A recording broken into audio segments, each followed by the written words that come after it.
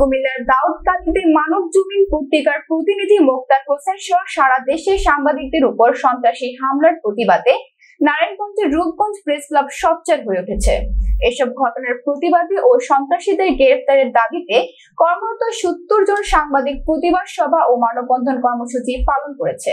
বুধবার দুপুরে উপজেলার মঠের ঘাট এলাকায় রূপগঞ্জ প্রেস ক্লাব মিলনায়তনে প্রতিবাদ সভা অনুষ্ঠিত হয়। পরে প্রেস ক্লাবের সামনে মানববন্ধন কর্মসূচি পালন করা হয়। এক পর্যায়ে সাংবাদিকদের মঠের ঘাট উপজেলা পরিষদের রাস্তায় বিক্ষোভ মিছিল প্রদর্শন করেন। রূপগঞ্জ প্রেস ক্লাবের সভাপতি লায়ন মীর আব্দুল আলিমের সভাপতিত্বে উপস্থিত ছিলেন রূপগঞ্জ প্রেস ক্লাবের প্রধান উপদেষ্টা আলম হোসেন, সাধারণ সম্পাদক হাদি খলিল সিকদার, উপদেষ্টা মাসুদ করিম, সাত্তার আলী সোহেল আবুল কালাম শাকিল সহ আরও অনেকে।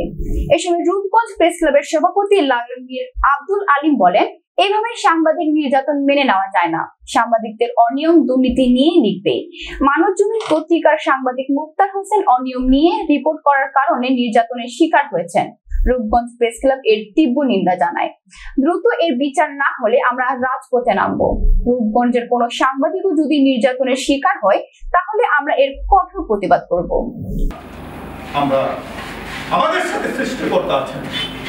সত্যের সাথে সৃষ্টিকর্তা আছেন। আমাদেরকে দাবাতে হলে মিথ্যা দিয়ে দাবাতে সত্য দিয়ে দাবানোর কারও ক্ষমতা নেই। কারণ সেই লোকের পাঠা আছে আমাদের কথা বলার। বস একটু তাকান।